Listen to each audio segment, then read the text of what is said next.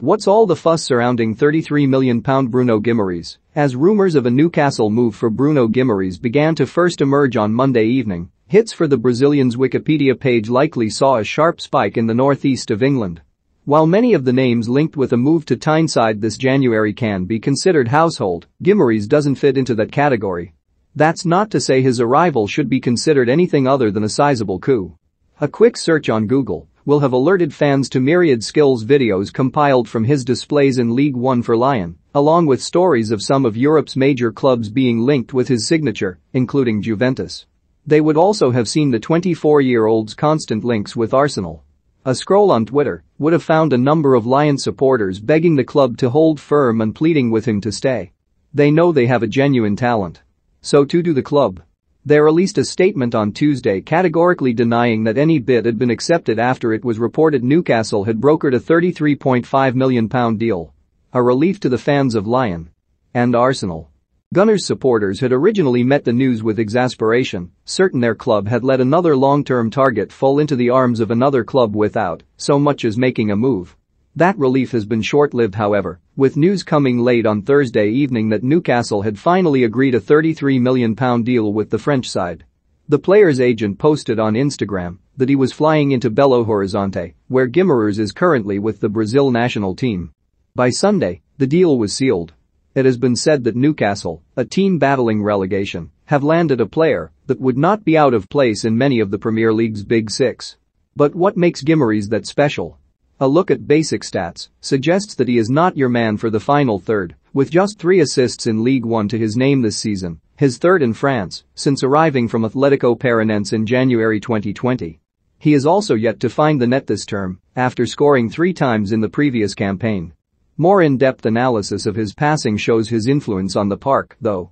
In Ligue 1 this season, no player has completed more through balls, 10, or made more passes into the final third, 150.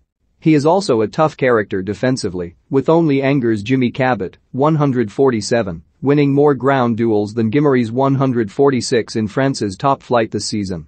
But it's not the numbers that generate the excitement. It's what he does on the pitch. I think his main quality is his passing. He has incredible vision to find through balls in between defenders, says Tom Abady, host of the Football Podcast, a channel dedicated to Lyon. He does think fast, reacts quickly and finds space in the blink of an eye.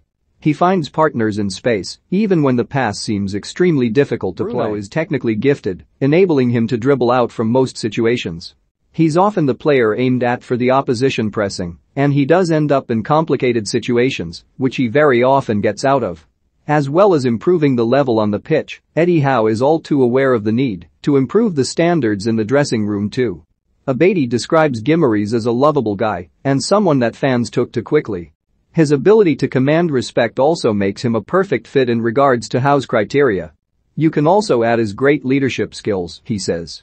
He was captain of the Brazilian Olympic team and is often pushed forward as a candidate for captain of Lyon by the fans. He leads by example and is very vocal on the pitch. It helps that he learned French very well and very early on. He was practically fluent within the first six months. In the south of France he has formed a partnership with Maxence Caqueret in the middle of the pitch. In the northeast of England, it could be alongside fellow Brazilian Joelinton that he makes his mark. Thomas Partey would have been a great foil for him at the Emirates, Abady argues. I think that is the best combination for him, to work with another player around him who can defend a little more, he says. He is good defensively, but his real quality is bringing the ball out from the back. He and fellow Brazilian Lucas Paqueta have been the best signings Lyon have made in the last decade, and it is difficult to find anyone who would be close in that debate. He'll be a fabulous addition to the future club he joins.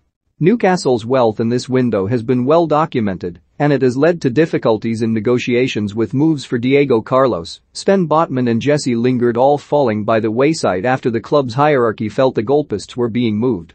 In Lyon however, Amanda Staveley and the PIF may have finally found a willing seller to help them secure that big name capture. Lyon owner Jean-Michel Aulas is one of French football's biggest mavericks and a notoriously tricky negotiator. The club's statement on Tuesday was a sign that any deal was far from complete. However, Lyon behaved similarly around speculation when Ferland Mendy was on the move to Real Madrid in 2019. It appeared to be a case of history repeating itself.